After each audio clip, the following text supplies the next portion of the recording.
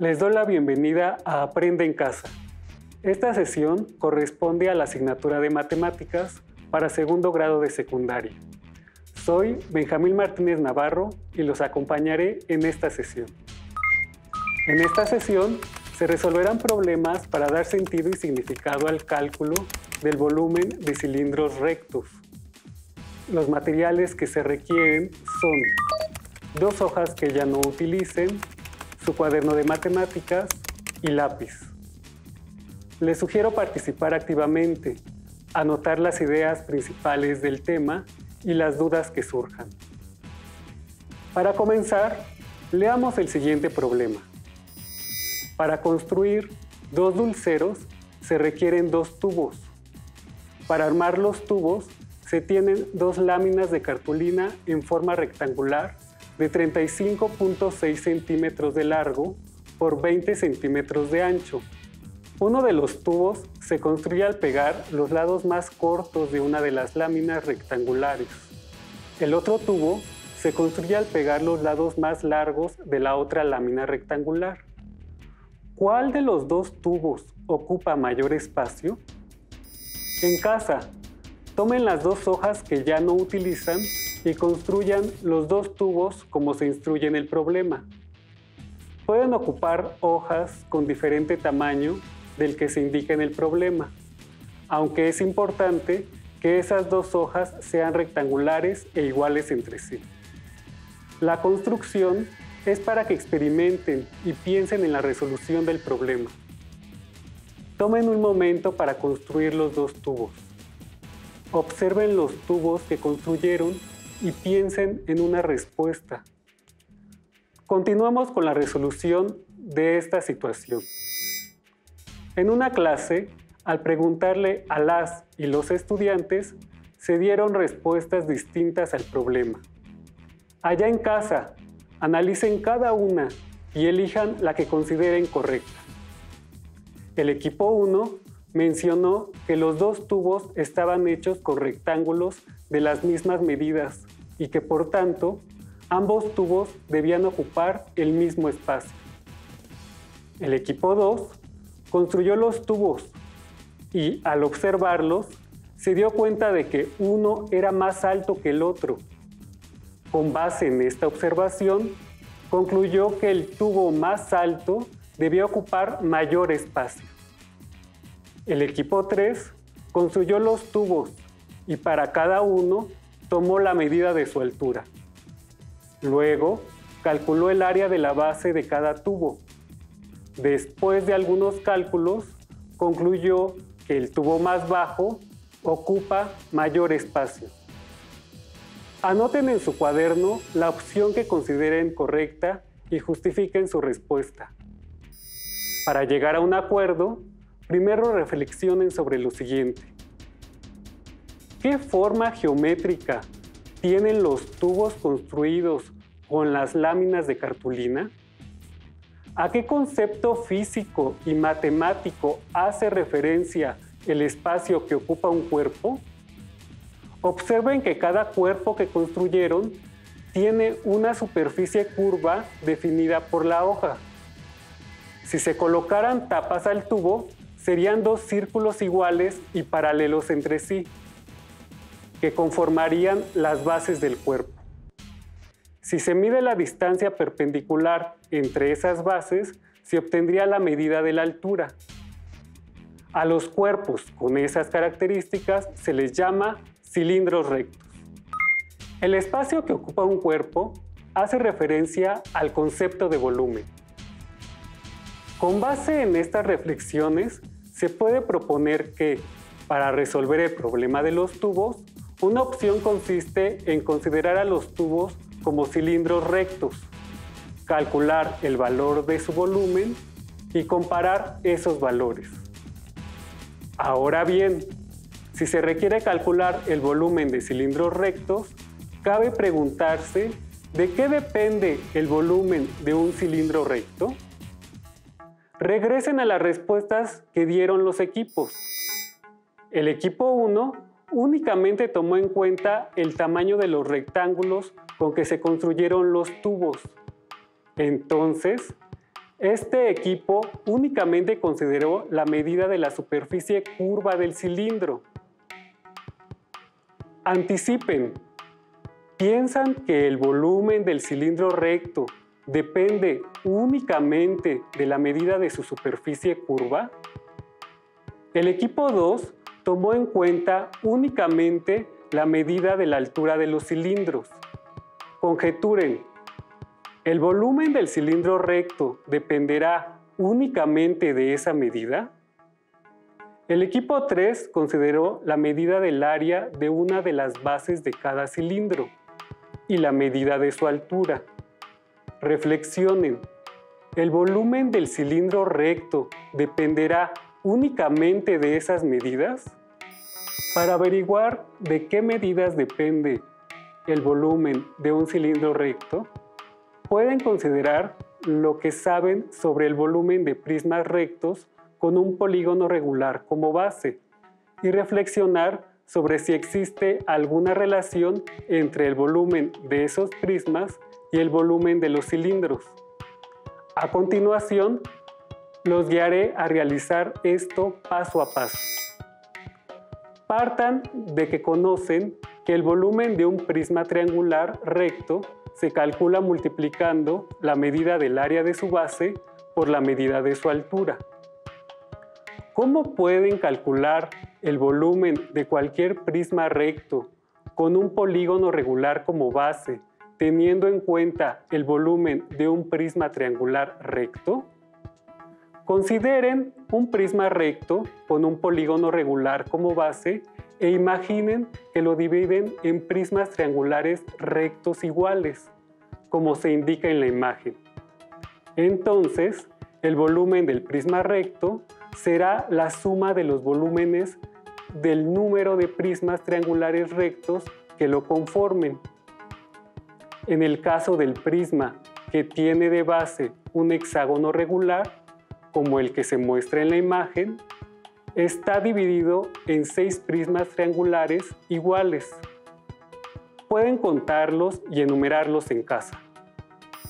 Así, el volumen de este prisma recto en particular puede calcularse como el volumen del prisma hexagonal recto es igual al volumen del prisma triangular 1 más el volumen del prisma triangular 2 más el volumen del prisma triangular 3 más el volumen del prisma triangular 4 más el volumen del prisma triangular 5 más el volumen del prisma triangular 6.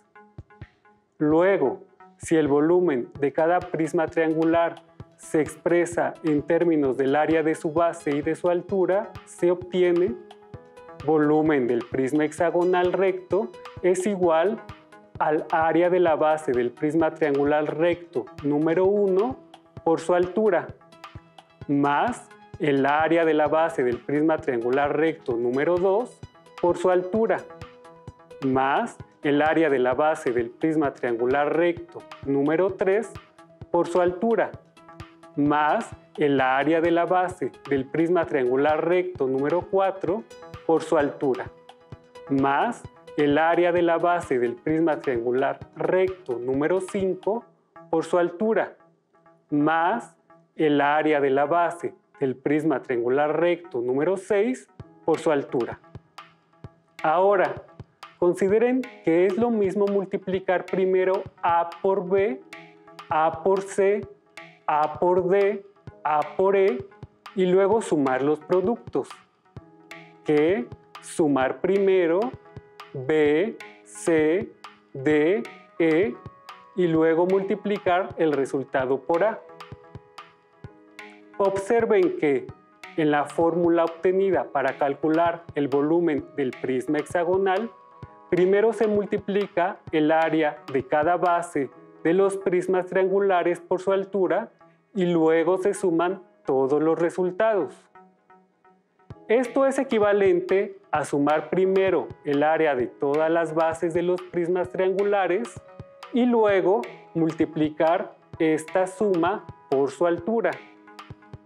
Así se llega a que el volumen del prisma hexagonal recto es igual a realizar la suma del área de la base del prisma triangular número 1 más el área de la base del prisma triangular número 2 más el área de la base del prisma triangular número 3 más el área de la base del prisma triangular número 4 más el área de la base número 5 más el área de la base número 6 y luego multiplicar el resultado por la altura de uno de los prismas triangulares rectos. Ahora, observen que la suma de las áreas de las seis bases de los prismas triangulares rectos es igual al valor del área de la base del prisma hexagonal. Así, hemos llegado a que el volumen del prisma hexagonal es igual a área de su base por su altura. ¿Consideran que lo anterior es válido para cualquier prisma recto con un polígono regular como base? Sí, el procedimiento es válido, siempre y cuando puedan dividir al prisma recto con un polígono regular como base en prismas triangulares iguales. Ahora bien, ¿pueden encontrar alguna relación entre el volumen de un prisma recto con un polígono regular como base y el volumen de un cilindro recto? Imaginen que inscriben un prisma recto con un polígono regular como base en un cilindro recto, como se muestra en la imagen. ¿Qué observan? Consideren todos los elementos que componen este nuevo arreglo. Se puede observar el prisma recto, el cilindro, pero también un hueco entre estos dos. Si se fijan en la base del arreglo, notarán una diferencia entre el área de la base del prisma recto y el área de la base del cilindro. A partir de los elementos que observan, ¿cómo pueden relacionar el volumen del prisma recto con un polígono regular como base y el volumen del cilindro recto? Pueden partir de lo que saben hasta ahora. Saben que para obtener el volumen del prisma recto se utiliza la fórmula V es igual a A subíndice B por H, en donde V representa el volumen del prisma. A subíndice B representa el área de la base del prisma y H representa la medida de su altura. ¿De qué otra manera pueden expresar esa fórmula? Pero ahora tomando en cuenta el volumen del hueco entre el prisma recto y el cilindro, así como la diferencia entre el área de la base del prisma recto y el área de la base del cilindro? Consideren la fórmula anterior. ¿Qué pueden hacer con el volumen del cilindro recto para obtener el volumen del prisma recto? Observen que si al volumen del cilindro le restan el volumen del hueco, se obtiene el volumen del prisma. Entonces, la letra V de la fórmula para el volumen del prisma se puede escribir como el volumen del cilindro menos el volumen del hueco. Ahora, observen que la altura del cilindro es la misma que la altura del prisma recto. Sin embargo, el área de las bases son distintas. ¿Qué pueden hacer con el área del círculo que conforma la base del cilindro para obtener el área del polígono que conforma la base del prisma? Observen que si al área de la base circular del cilindro se le resta la diferencia entre el área de la base del prisma recto y el área de la base del cilindro, se obtiene el área de la base del prisma recto.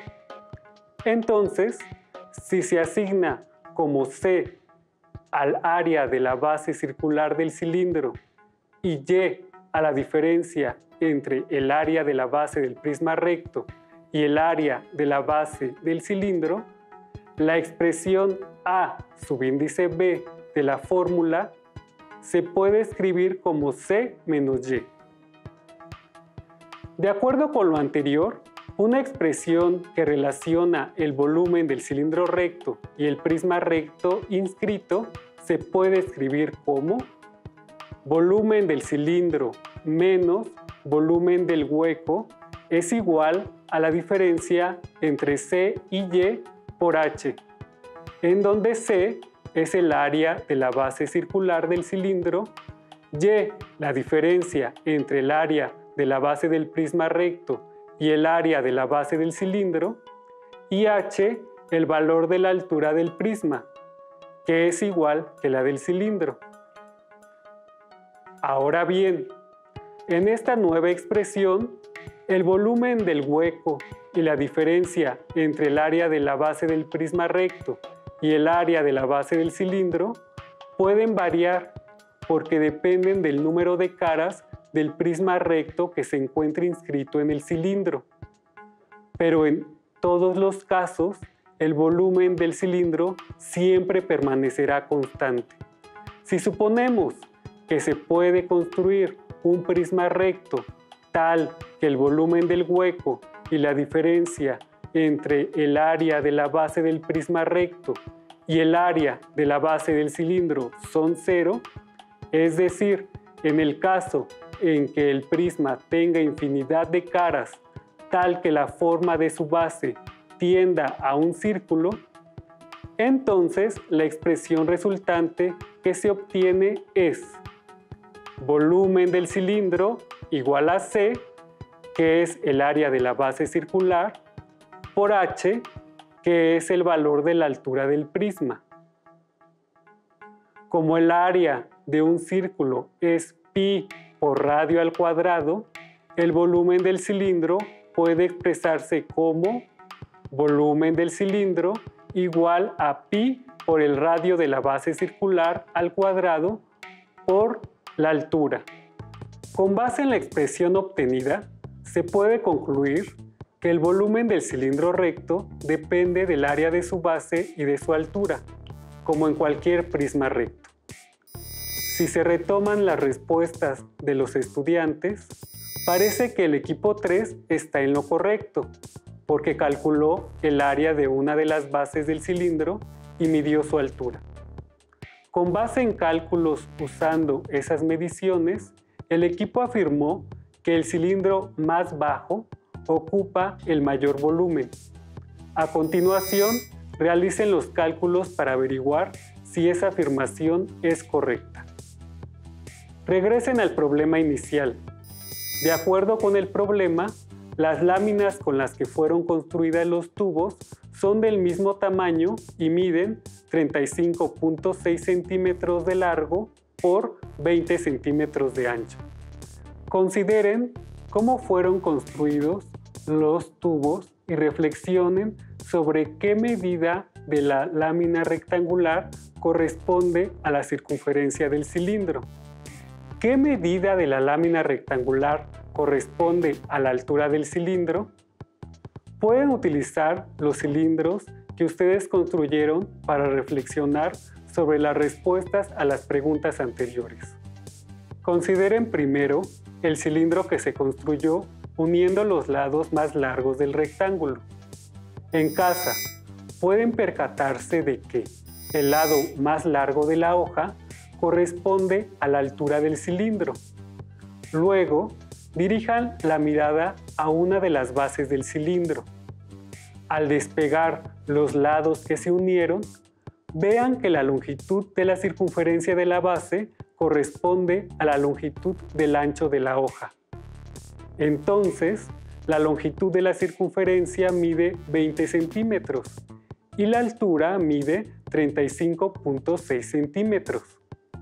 Se tiene entonces la medida de la circunferencia y la medida de la altura. Pero la fórmula del volumen del cilindro que se obtuvo anteriormente involucra el valor del radio de la base del cilindro recto. ¿Cómo se puede obtener la medida de ese radio a partir de conocer la medida de la circunferencia? Una fórmula que relaciona la medida de una circunferencia con la medida de su radio es medida de la circunferencia igual a dos veces el valor de pi por el valor del radio. De aquí se obtiene que el valor del radio es igual a la medida de la circunferencia entre 2pi. Al sustituir los valores, se obtiene que el valor del radio es aproximadamente igual a 20 centímetros, entre 2 por 3.14. Si se multiplica 2 por 3.14, se obtiene 6.28. Así, se obtiene que el valor del radio es igual a 20 centímetros entre 6.28. Al realizar la operación, se obtiene que el valor del radio es aproximadamente igual a 3.2 centímetros. Con esto, ya se conoce el valor aproximado del radio de la circunferencia de la base del cilindro que es de 3.2 centímetros. También se sabe que el valor de la altura del cilindro es 35.6 centímetros. Al sustituir estos valores en la fórmula, tenemos volumen del cilindro igual al área de la base circular por la altura. Entonces el volumen del cilindro es aproximadamente igual a 3.14 por 3.2 centímetros al cuadrado por 35.6 centímetros. Al elevar 3.2 centímetros al cuadrado, se obtiene 10.24 centímetros cuadrados.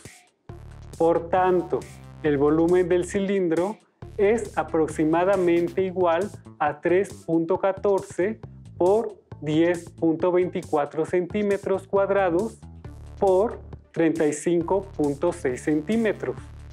Al multiplicar 3.14 por 10.24 centímetros cuadrados, se obtiene aproximadamente 32.15 centímetros cuadrados. Al multiplicar 32.15 centímetros cuadrados por 35.6 centímetros, se obtiene 1144.54 centímetros cúbicos aproximadamente. De acuerdo con esto, el volumen del cilindro más alto es de aproximadamente 1144.54 centímetros cúbicos. Consideren ahora el cilindro que se construyó uniendo los lados más cortos del rectángulo. Para este cilindro, la longitud de la circunferencia mide 35.6 centímetros y la altura mide 20 centímetros. Para calcular el radio de la base, se puede considerar que es igual a la longitud de la circunferencia entre 2pi, como vimos en el caso del cilindro anterior. Al sustituir los valores, se obtiene que el valor del radio es igual a 35.6 centímetros entre 2 por 3.14.